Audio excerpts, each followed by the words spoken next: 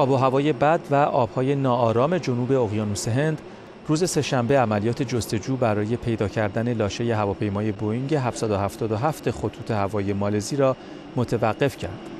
روز دوشنبه و پس از گذشت 16 روز مقامات مالزی سرانجام تایید کردند که هواپیمای ناپدید شده در اقیانوس هند سقوط کرده است.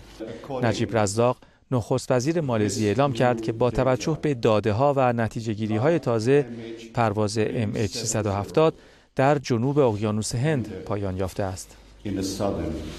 این به این مفهوم است که همه 239 سرنشین هواپیمای مفقود شده کشته شدند.